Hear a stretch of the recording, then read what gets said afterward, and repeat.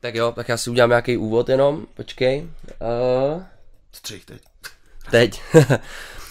a je tu pátý díl podcastu a mám tady hosta, je to Štěpán z Divokýho Byla. Pojď trošku blíž, ať je to líp slyšet. Nazdar. Čus, jak se máš? No, bylo líp, ale jako nemůžu se stěžovat, veď. Jak to? A Zakázali ti stěžovat si. to ne, ale tak potkali mě teďka v životě takový nějaký nepříjemný situace, ale bylo i hůř, jak říkám. Aha, OK, ty jo. No, rozvíz to nechceš, je to nějaká... No, je to nemoc v rodině a následně umrtí, ale tak to má asi dneska každý. Mm, tak to je mi líto.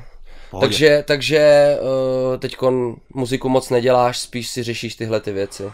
No, tak jako trošku mě to vykolilo, protože my teď jako s, s Bylem zkouč, zkoušíme jako na desku, každopádně. Mhm. Uh-huh. Uh, toto maličko odvinilo, že jsem párkrát jako nebyl třeba na zkoušce.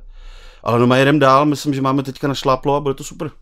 OK. Uh, prosím tě, mě zajímá trošičku, uh, v kolika jsi začal dělat muziku? Vlastně první tvoje kapela byl Divoký byl, je to tak?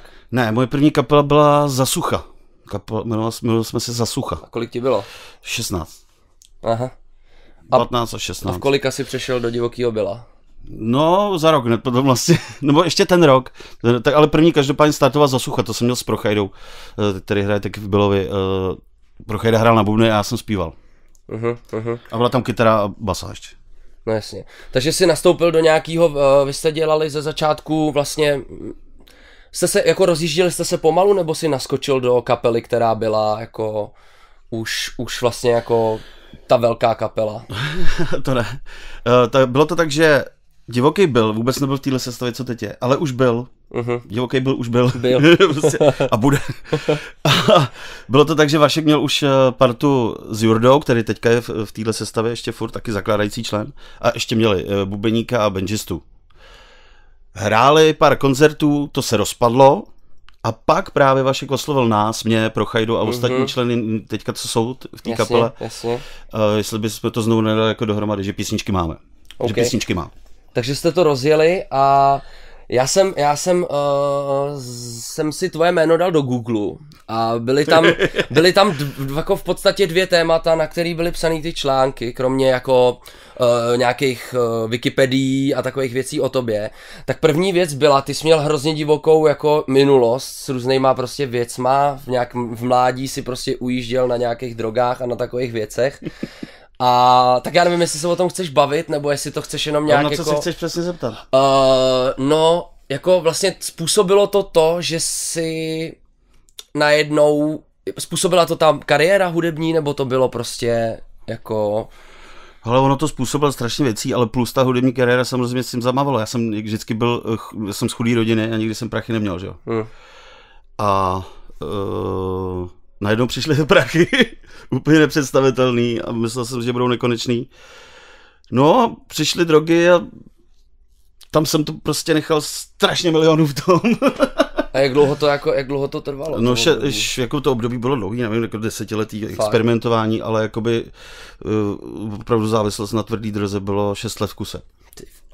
No dobře, a, Ale už je to 14 let. no a to mě právě zajímá, jako vlastně, co tě z toho dostalo, jak se, jako co byl ten moment, jo, stalo se nějaká konkrétní věc, kdy si řekl, a OK, teď už prostě na to seru. A skončil si ze dne na den, nebo... No, tak ono samozřejmě, dřív to bylo tajný, že jo, pak se to začalo pomalu provalovat, pak jsem začal dělat ko- kokotiny, to už člověk vůbec není Hmm. ten, kdo byl, Hmm. to už s tebou prostě mává ta závislost jako, oh, je to na, na další jako vyprávění samozřejmě, ale pak se to dozvěděli kluci z kapely a ne, ne, nevysrali se na mě, Prochajda mi chtěl pomoct. Mhm. Já jsem hrozně dlouho odmítal, dokonce už jsem si říkal, že s tím všem seknu a že prostě život není důležitý. Ale pak jsem si teda přehodnotil, když jsem pak zůstal někde úplně sám a už jsem nemohl ani domů, už jsem nemohl nic, neměl jsem ani korunu, prostě jsem neměl prostě vůbec nic. Ale měl jsem telefon na prochadu, jsem mu zavolal a on mi prostě pomohl, odvez mě do léčebny a od té doby už jsem, protože jsem nechtěl prostě umřít, jednoduše. O, tak jsem měl prostě do léčebny a od té doby jsem 14 let, Ty vole, no možná jako- 15, já už nevím. Každopádně jako obrovský obdiv, no, protože každý No, no, se obdiv, dokáže, vole, obdiv je- dokáže dostat z těchto těch věcí. No ale hlavně obdiv je do, dokázat se do nich dostat, to je taky ústý.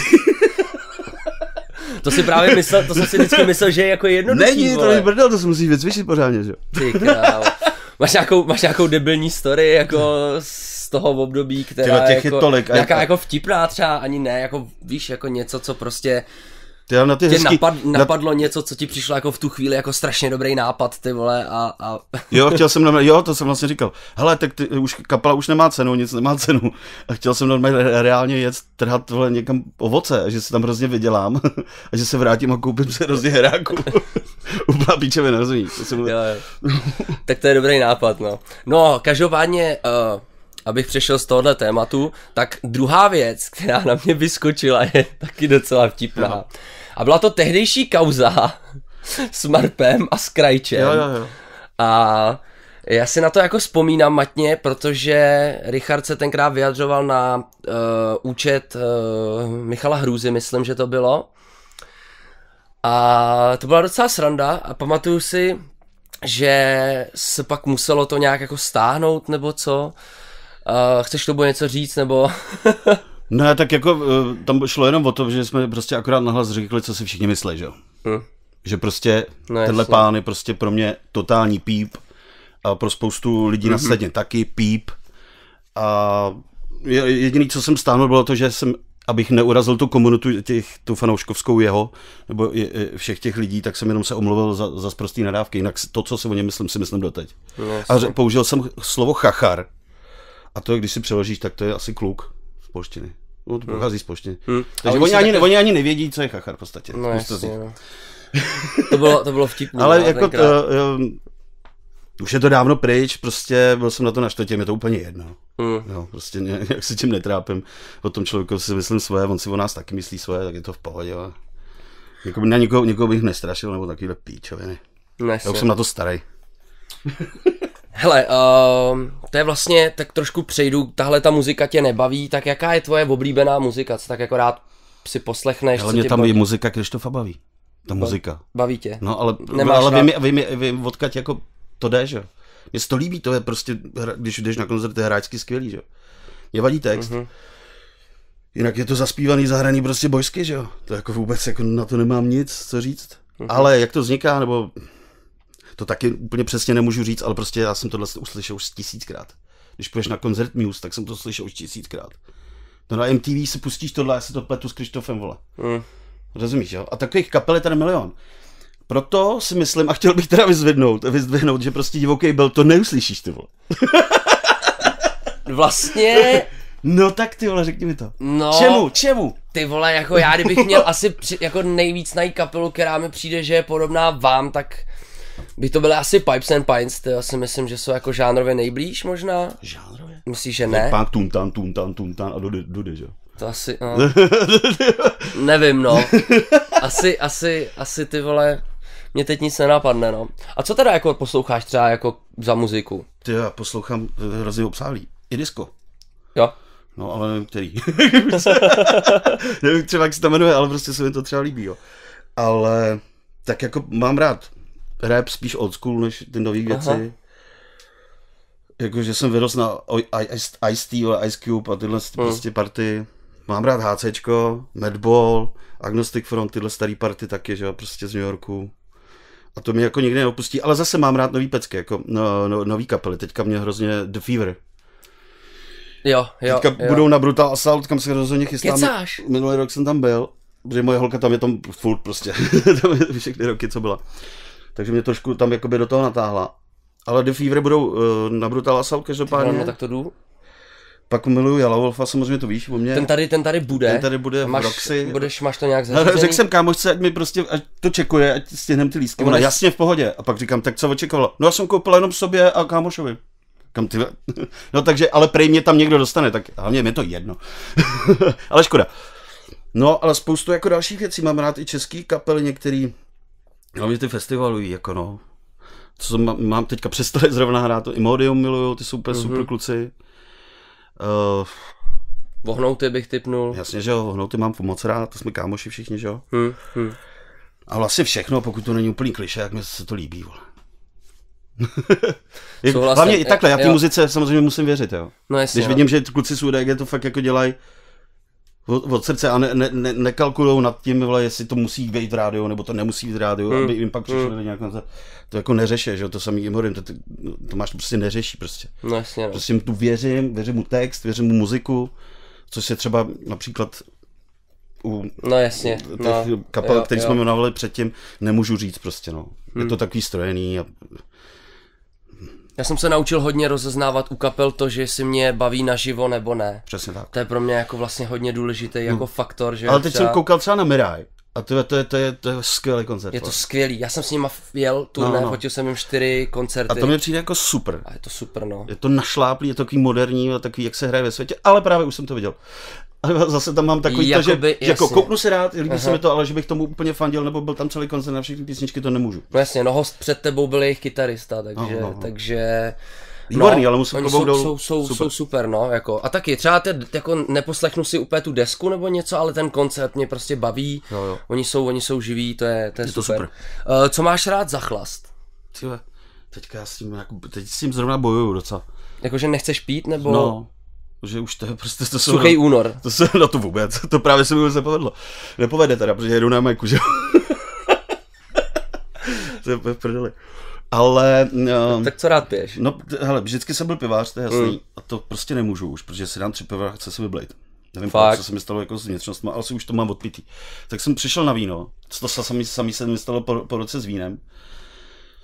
Takže teďka vlastně, teď už jsem 14, 14 dní nepiju. Vodku tu už mám dát, zase všechny ty tvrdý, to jsem taky pil jenom vodku, že jo, a tyhle věci, ale já piju rád všechno, ale prostě jakmile se pustím do té kalby, tak nevím, kdy přestat. A je prostě šíleně zle, a má strašný koncoviny. Máš? Šílený úplně.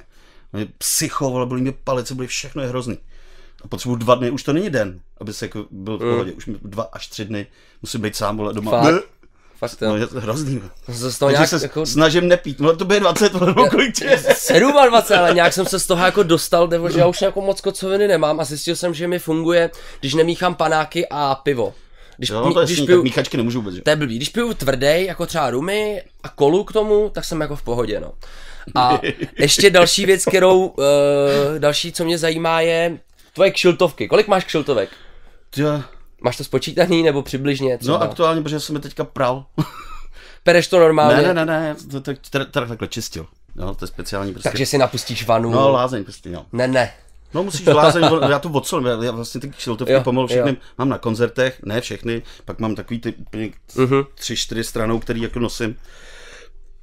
Ale opravdu, No, dám tomu lázeň, musíš je odsolit, stačí voda prostě a, sch, a usušíte prostě pozvolna, aby nezměnil hlavně tvar. Jakmile, No, začne, jasně, jak, no. jakmile začne měnit tvar, tak to nesu tátovi. Ten si je vypere normálně v pračce a nosí to, že jo, prostě v pohodě. Ale jednou jsem se stalo přistěl, že jsem takhle šel do zkušebny a pot, vidím týpka na kole, jak jede takhle v dálce na náměstí v Úvalech u nás. Říkám, ty, to jsem já, ne? Jo, to je, jo, to je fotr. Víš, že mám dávat ty věci. jo, jo, jo. A i ty čepice mu A dávám. ještě jste si asi podobný Ještě jsme si nějakým trošku podobně, říkám, ty krávo, co to je? Jo, to je můj táta, dobrý. To je taková stíha. No, Na kolik jich, kolik jich teda máš, vole? No teďka aktuálně jich asi 30. Tak to není moc, to jsem čekal víc. No ale to, to jako, jich mám, že jo. Teď co, kolik jsem jich měl, to nejde, nejde jako, že. Hmm. Mít jich tolik, na to bych musel mít místnost. A oni ti nevydrží, že jo. Já opravdu prosolím každou na koncertě hezky. No dobře, a říká se, že uh, ti ale padají vlasy, když nosíš čepice. Hele, vidíte to? ne, ale není to tím, protože brácha můj je ten rok starší No, a máme stejně vlasů a on čepice nenosí. Takže je to... Takže Je to kouty prostě- prostě... přirozeně po. OK. Hele, kdyby si tě někdo chtěl najít na netu, tak tvoje, jakoby podle mě hrozně častá fotka je, že pliveš oheň. Jak jsi na to přišel? Na to jsem nepřišel já. Na to přišel Vašek, když jsme začínali úplně s Billem na začátku. Hmm. A on vždycky říká, hele, ty tam, samozřejmě já jsem tam takový ten šašek bych měl být. A uh, říká, hele, tak po, pojďte, budeme všichni plivat. To jsme tenkrát plovili já pro Chajda a Vašek jsme plivali všichni na nějakou písničku, nevím.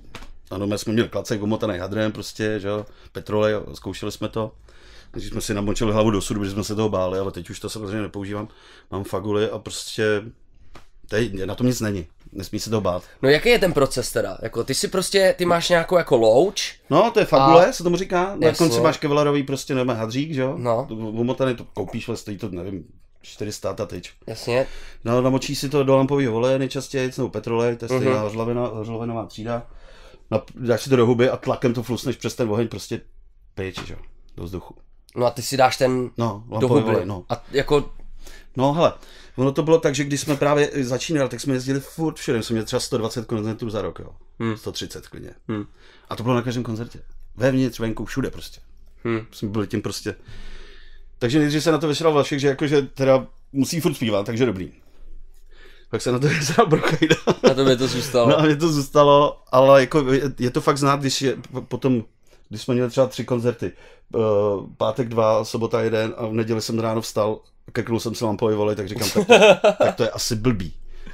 A No ne, pak když vole svouknout svíčku, že jo, vole, podpálí si byt, vole. No, ale ta hozlavina je hrozně malá, to je strašně bezpečná věc, to lampový volej. Ty nevím, jestli to představit, já jsem si myslel, že to je nějaký Petroli chlast. hoří, hoří o maličko víc, ale je to stejná třída hořlaviny. Jako. Víš, já myslím, že pliveš nějaký jako chlast.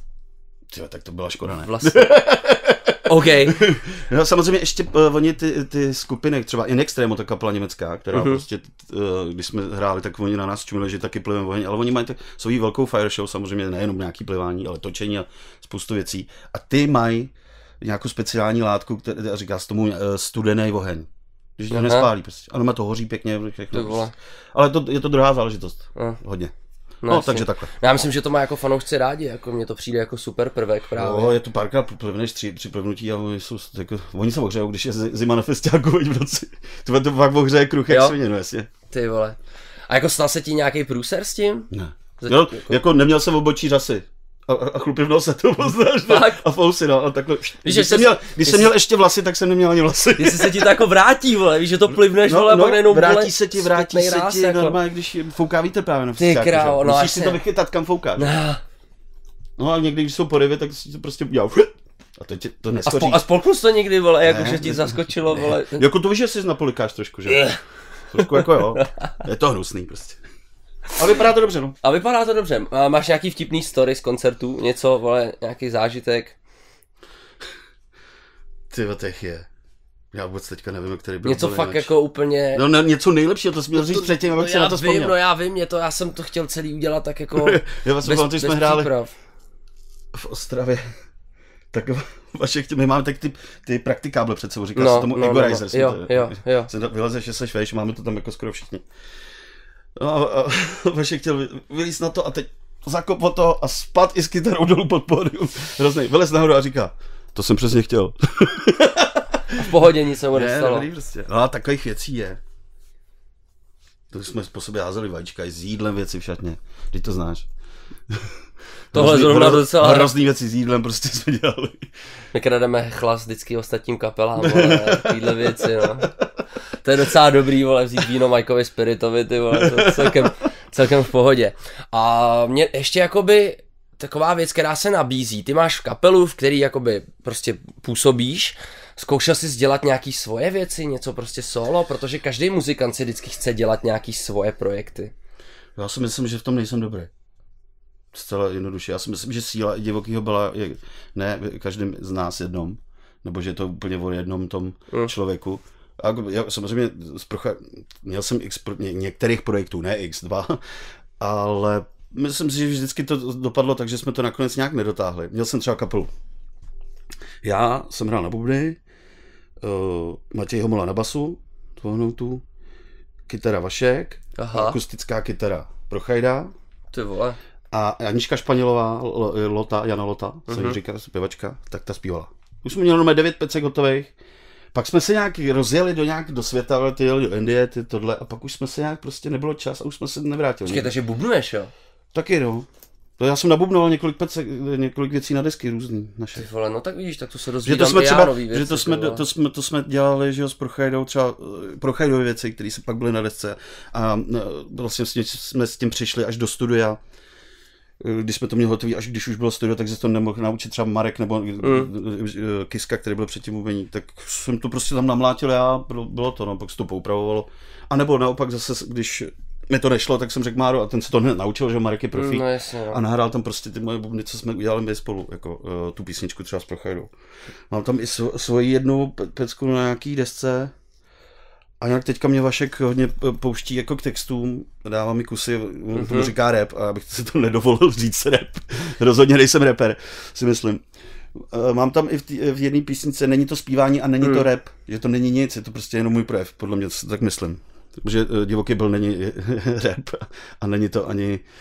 Jako je to, a, máš, a, máš tam nějaký A není prvky? to ani žádný virtuózní, žádný krásný zpívání, jo. Prostě je to prostě, jak říkám, o té partě a my se prostě doplňujeme. Máš tam nějaký prvky jako repu? Já si právě, jako když už jsem se tě ptal na ty projekty, jak jsem si právě představoval, jestli prostě bys vlastně neudělal skoro jako repový track, nemyslím tím moderní rap, takovej ten co, a ani takový, ale víš, něco do Jela Wolfa právě, možná, něco do takového jako, aby to zvukově připomínalo divoký byl, ale nebylo to zpívaný, jako, uměl bych si to Já, představit. já, já, vole. já, já, samozřejmě jsem o tom přemýšlel, to je jasný, ale já prostě nemyslím si, že No, jsem, asi jsem od sebe kritický, ale nemyslím si, že bych udělal něco, co by bylo tady originální. A to já bych nepřenes představit, aby to bylo něčemu podobný. Chápeš mě? Mm. Což jako je už je těžký. No, už nevymyslíš ale, ale třeba jo, třeba něco přijde, tady jako život vůbec nekončí, že jo, a prostě máme krásnou zkušebnu a můžeme nahrávat a můžeme si dělat, co chceme s tou muzikou, tak třeba to někde se něco vyverbí, ale rozhodně cí- cíleně a plánovaně bych nešel potom jako udělat, teď udělám projekt a budu znít jak tady, když si prostě rád zaspěne, jsem stoupil píči. Pardon. Jo, to je prostě jedno jako druhý. To Je, je no. všechno úplně kurva stejný.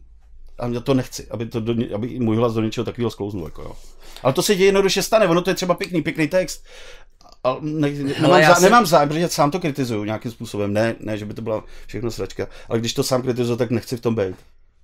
Ale nemyslím si, že bych na to neměl, to zase. Tomu jako rozumím, já si spíš jako myslím, že ty bys jako do repového aktuálního nějakýho, do nějaký vlny bys určitě nezapad už jenom proto, že máš absolutně jiný ži- životní zkušenosti, jiný hlas, prostě myslím si, že právě bys to jako oživil, no, že by to bylo jiný, ale tak třeba to přijde, Třeba to no. přijde.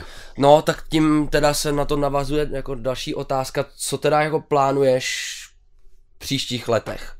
Děláte, říkal jsi, že děláte na desce, Mhm. Takže... Takže bude dneska, teďka dáme A- všechno a- do toho. A kdy, to tak jako má vít? Příští rok Příští rok má ten. by to mělo být.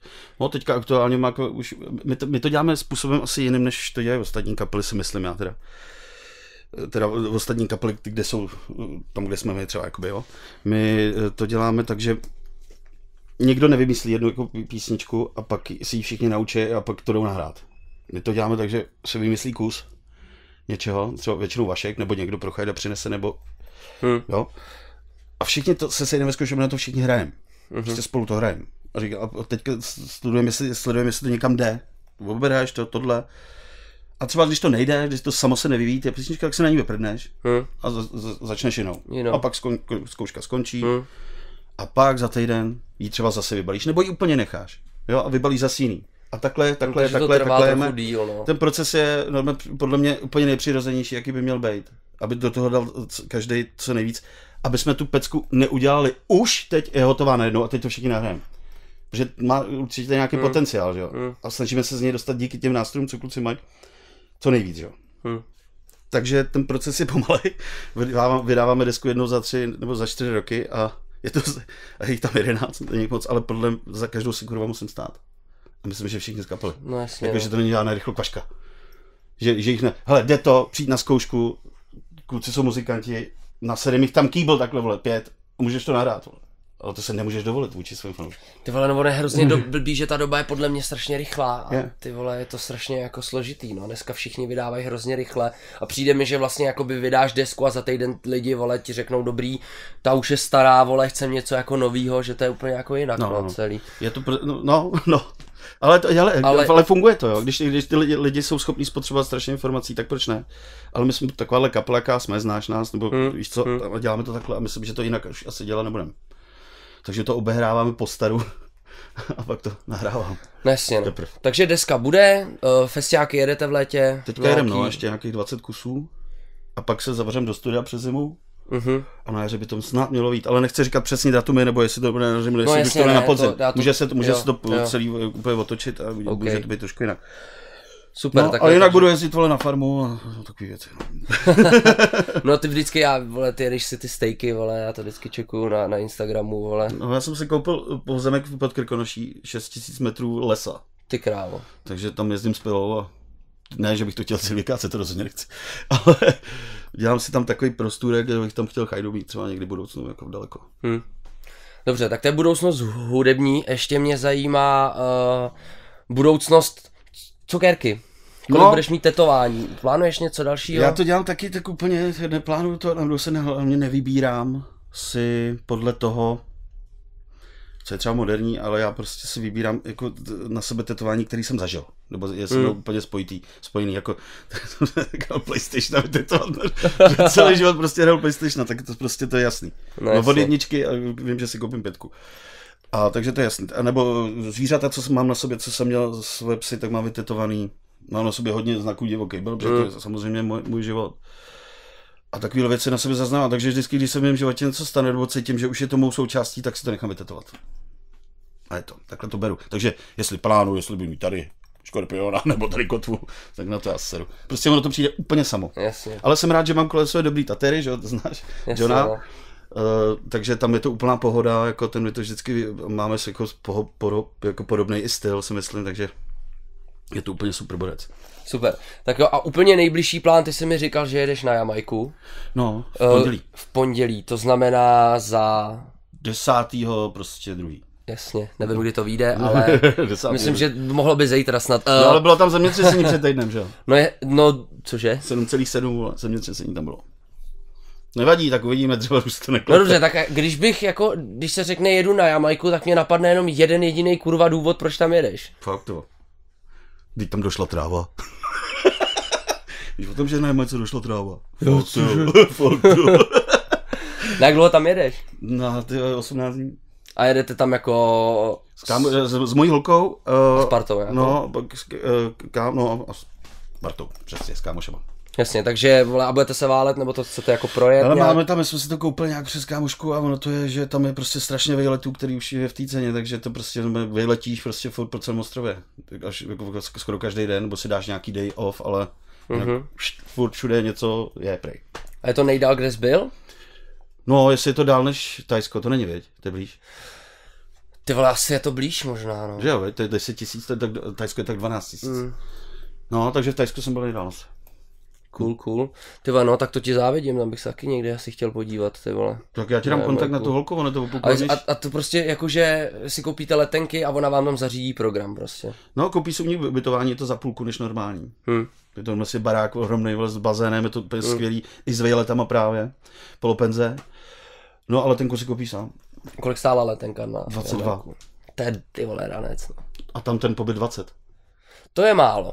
Jako Jo, když si nějakýma- na, to, na, na tolik věcma. dní, jo, na tolik dní, tak zaplatíš vole 80, vole. A platím 40. To je pravda. no. Takže super. Super. Tak jo, já myslím, že jsem vyčerpal, uh, vyčerpal jsem úplně všechny témata, který jsem tady měl napsaný. Super. A takže já dám do popisku uh, na YouTube dám, kde tě můžou lidi sledovat. Uh, ty máš Instagram jak? Je to zavináč a pak je to, Štěpán Karbulka DB. je tam dol, d, d, s, uh, Pom- potržítko. potržítko DB. Takže je to Stepan Karbulka, potržítko DB. Super. říct, No ono totiž, eh, aby si na tebe lidi mohli jako podívat. Ty, ty mě takhle ještě budu mít snad 10 tisíc sledujících. No, swipe up, ty vole. Dobrý, tak jo, tak já jsem rád, že jsi přišel, dík Jo, potržítko DB. Je to Stepan, tak? Stepan Karbulka, potržítko DB. Super, super. Tak jo, tak na YouTube to napíšu a na Spotify si to budete muset sami najít. Tak uh, díka, zase se někdy uvidíme. Já moc díky Tony, díky za pozvání. Čus. Čus.